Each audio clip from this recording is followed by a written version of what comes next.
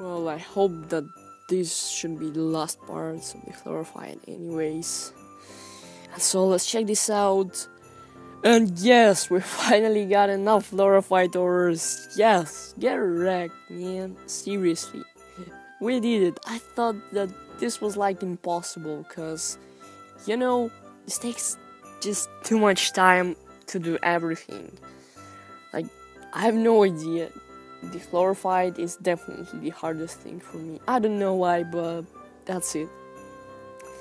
These are just my words. So, and sorry guys about the stuff that has been happening. Probably most of you guys have seen those videos without kind of a name.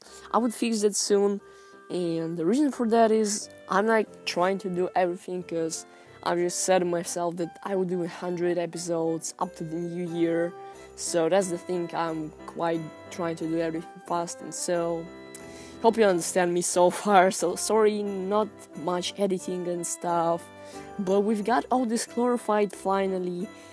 And this was hard, just one word, this was really hard to do, but we did it, and let's see how do we make it so far. Let's get to our forge and I guess we're able to make all those Chlorophyte bars.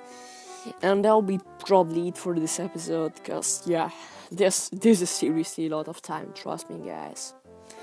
So yeah hope you enjoyed this episode and be sure to watch the next part because it's definitely the Shroomite armor crafting stuff all these interesting things first of all we would need some gold actually i don't know where to get it so maybe those would be some fights also with some bad guys, some bosses and stuff.